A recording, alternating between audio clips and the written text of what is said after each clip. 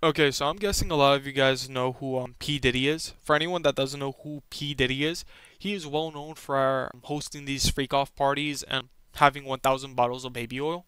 And, you know, most of you guys are wondering, well, why are you bringing him up or why is he important to this video? And the reason why he is is a lot of people wonder why like these celebrities won't call like come out and like call him out on the shit he does except for like Kanye West. And that's mainly because he probably has shit on them. Like allegedly, he just has a lot of blackmail or something. Especially when it comes to Meek, uh, Meek Mill. Get up! And so, the thing, uh, that actually reminded me of a story when I was young in uh, middle school, and I re- I just realized thinking back on it, there were so many diddlers in my school. It's actually insane. I used to, I didn't go to any of these schools where it's like maybe you know 100 kids total or like 200 kids. Nah, my, my every school I've been to had like maybe 1,000 plus. We were very populated schools, and so this allowed a lot of these diddlers to go under the radar, just because they had so much prey. They had so many like um people to hide behind. It was crazy, and the blackmail really hit home with me because I'm, I'm thinking about this infamous legend, Daniel the Bear. The Bear, he, he had a problem. The thing about him is that he was the number one plug. He had the vape pens, he had everything a degenerate smoker would want in their life.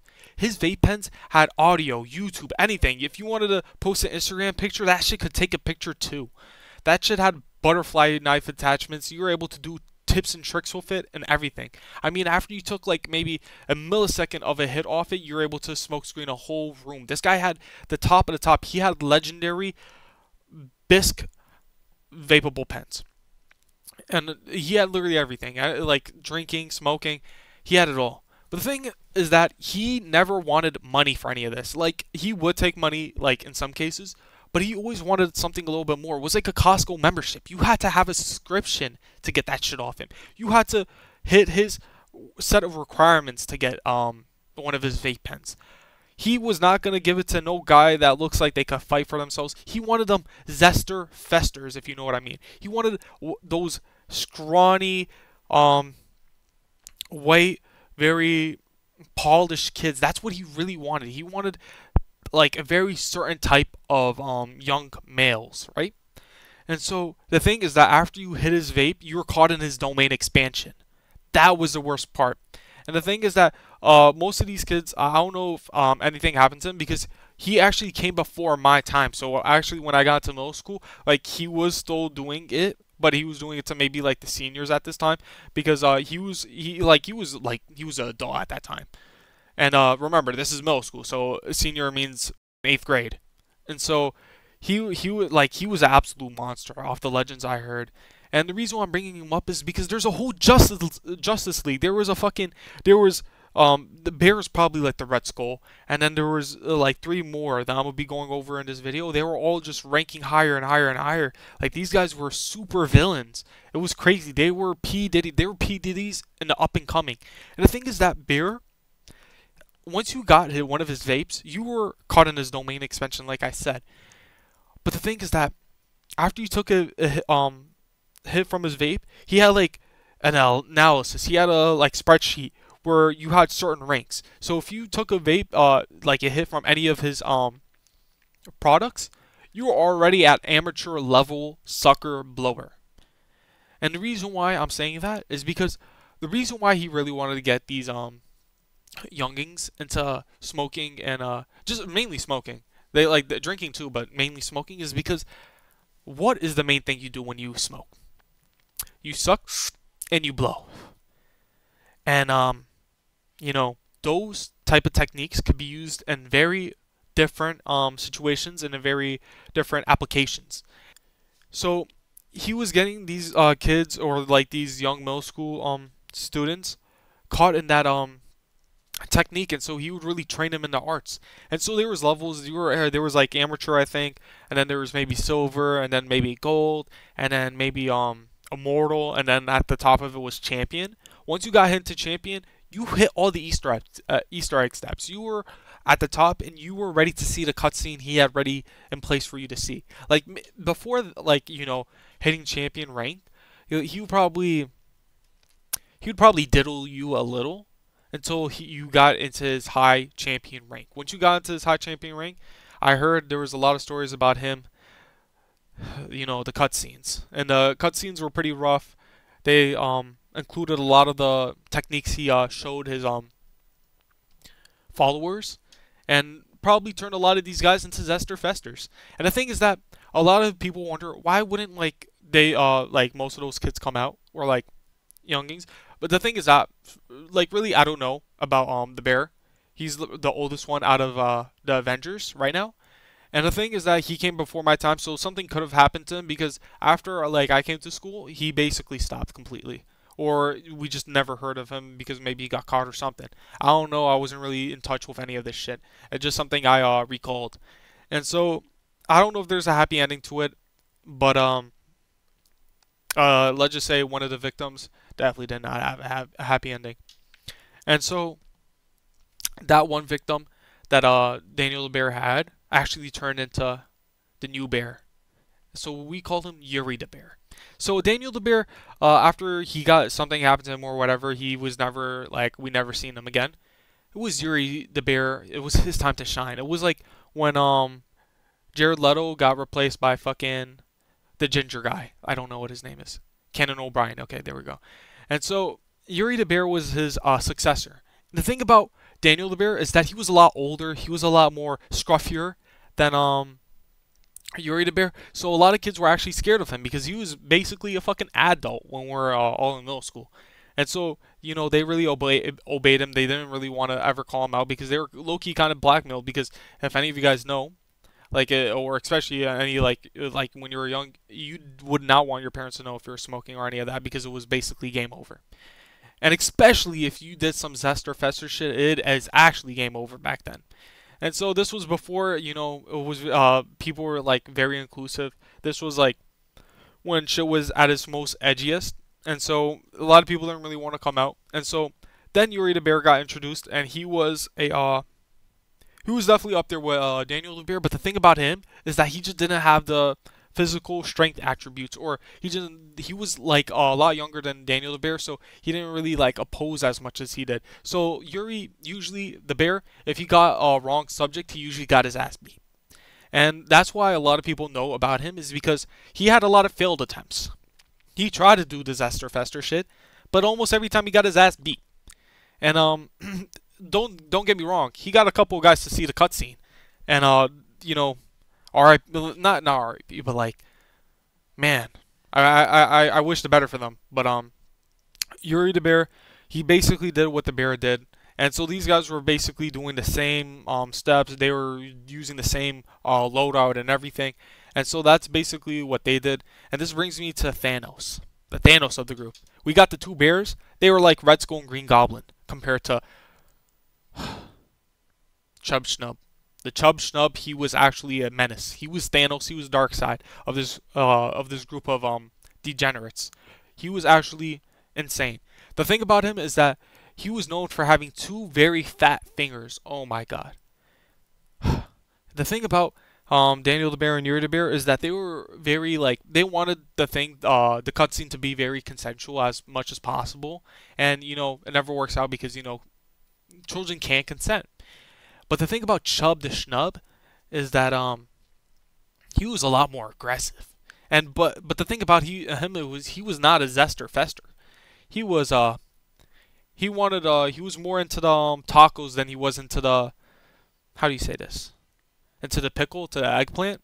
And so the thing about him is that instead of it being vapes or anything, it was his car. If you got in his car, that was genuinely his domain expansion because at least with the vapes you could just like never talk to uh, the bears ever again.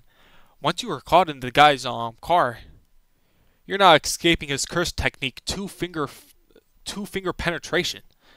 And so the uh, like his two fingers went everywhere they wanted to go. I heard like he used to brag about these stories about um meeting underage uh, uh middle school students and showing them his curse technique, two finger penetration. And the thing is that it was very stressed that his fingers were very fat, and um, it couldn't, couldn't be pleasant at all. I mean, um, I mean, I'm, I'm joking about this, but it's very serious. Like Chub the Schnub was someone you didn't want to mess with. He was very aggressive with what he did, and um, I don't know what really happened to him. He uh, he's like I don't know if you guys ever saw those like new TikToks like where the guys be like, um, uh, like they make their whole channel about like having uh, being a loser and having a Mustang and trying to meet up with like high school girls and shit. Like they peaked in high school, but that's basically what this guy was. And so, Chub the Snub was definitely the worst. There wasn't much to say about him. You got in his car, was game over. And that brings me to someone I actually did know because these three guys, I didn't really know that much. They really all, like, most of them came before my time except for maybe Yuri the Bear, but Yuri the Bear was more of a victim than he was a actual, like, do like, he was definitely one of those, um, PDF files. But, um, he was not he was a lot more unsuccessful than he was successful. He was always getting his ass beat. You kind of felt bad for the guy because he got him he got himself uh cut, caught in a cutscene and then on top of getting caught in a cutscene, uh, he got his ass beat most of the time. And um you know as as much as I say I feel bad for him, I don't I don't really I don't really sympathize with any of these PDF files. And so that brings me to some guy I actually did um interact with once and this we're gonna call him the Rhino. The Rhino was basically he was definitely not the like he was um probably the least worst out of all three like all three, but he he was the most definite. He he he he most likely did it. Uh, out of all those three guys, I mean, there's not hardcore evidence other than maybe word of mouth or them admitting to it. But the, the Rhino, the Rhino was dangerous. The thing about the Rhino is that Rhino was uh, good friends with someone I knew in uh, middle school, and I used to chill with her, and like we had this huge friend, friend group a lot. And the thing is that um, the Rhino never really chilled with us. He had no reason to chill with us because he was a whole lot older than us. Like the youngest I could give him 17. He was a lot like like way more older than that, and we were like 12, 13. We were in middle school. We were like sixth, seventh grade, and um, the thing about the Rhino is that uh, let's just say he hooked up with a lot of girls with his uh with the help of his um, middle school um, sister. And so basically, he would get hooks uh, hookups from um his mo. It was like a setup. I didn't really know this because we I, I only realized this when I uh when we went to these like group um hangouts and it was just a lot of like you know guys and girls uh, especially our age we never really chilled with anyone older than us and at one time her brother came and I was like I was kind of weirded out because I'm like what the fuck is going on here like why why is this um adult chilling with us I'm like is this like a is he watching over us or something? And then I realized this guy's hitting on a fucking middle schooler. He's hitting on uh, one of the girls in the front group, and I know how old she was. She was like literally like my age. She was like 12 or 13. Um, and she was definitely hella fucking young. And I guess uh, the Rhino had his um sights on her because bro was really trying to make small talk and raise up a 12 year old, 13 year old when he was like probably like older than maybe 17 or like max. I could like or youngest I could give him is 17. He was definitely old as shit. He was in high school, and so like he was uh hitting on her and everything. And the reason why I say I know it was almost 100% where he he tapped that was because uh the shorty that uh went with him said said he did, but also uh after he t- because we were chilling in that friend group and he took her away from the friend group and told her one on one in um like his crib. And so after like a couple of days passed, uh, we we got in a friend like we got in a group chill again, and that girl was in that um chill. And the thing is that her and um the the the rhino, the rhino's little sister was talking to the girl that the rhino uh brung to the crib, and they were talking about how the rhino has uh, has absolutely devastated uh the shit out of her. And I'm not gonna lie, I know you know obviously uh children can't consent, but um she she was bragging about how her and her um and her and you know the rhino you know did the deed uh, to the younger sister. And the thing is that the younger sister kind of knew because they also had sleepovers i guess um after after that day where she was invited and they basically did it over and over again. And uh yeah there's not much to say. Like these uh, the, the, like these diddlers were existing way before um p. Diddy but uh, yeah, it was crazy. I didn't really notice in middle school because I didn't really give a shit. I never really um smoked or did any of this, so I never really ever um engaged with them. It was more like urban legends and just making fun of them. But uh, I just realized how real this is. I guess the main part of the story is like, if there's anyone that's chilling with you and you're like decently young, don't chill with anyone that's way older you. It doesn't make you cooler. That just is. There's a high chance the guy's a diddler.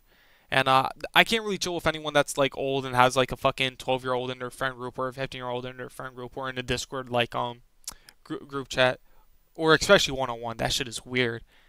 And um, that that's that's it for the video. Be careful who you show with. If you guys really like this video, I know this is very different from what I usually post. I usually uh, post like straight up gameplay and I commentate over the gameplay and just like my thoughts on the game. But um, if you guys like you know like this style of videos where I just commentate and just make I guess storytelling videos, uh, you know give it a like, show this video some love, and then uh, you know I'll probably make more. I have a lot more um, uh, I guess ammo in the magazine, more like I guess stories to uh talk about. And so if you guys enjoyed this video, please like and sub, and uh, thank you guys for watching.